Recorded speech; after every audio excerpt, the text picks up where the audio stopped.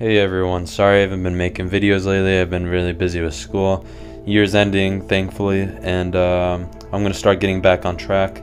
And uh, today I'm going to be talking about accomplishing my first ever 20 mile run. And for this run, I gave myself roughly around four weeks to prepare for it, and I got about 60 miles in in preparation for the 20 mile run. This got me up to 80 miles in total for all of my, the runs that I've done within the last four weeks. And about two weeks ago, leading up to this big run, I got shin splints, and uh, dealing with that had been very difficult, but uh, I treated it very well, iced it, massaged it a lot, and I overcame it. And uh, also having the proper running technique helped a lot as well. I also want to shout out my friend Brandon here because I challenged him three weeks before this 20 mile run challenge to do it with me.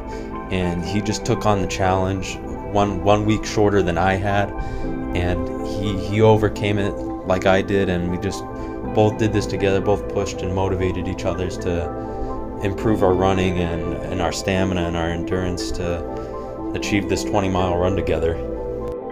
Not not to mention the fact that also he had to deal with this with shin splints as well, just like me, and still overcame it. Uh, I'm so proud of him. He's came such a long way. At one point, doing a simple 5K, which is 3.2 miles, was really challenging for him, and now he's out here conquering 20 miles.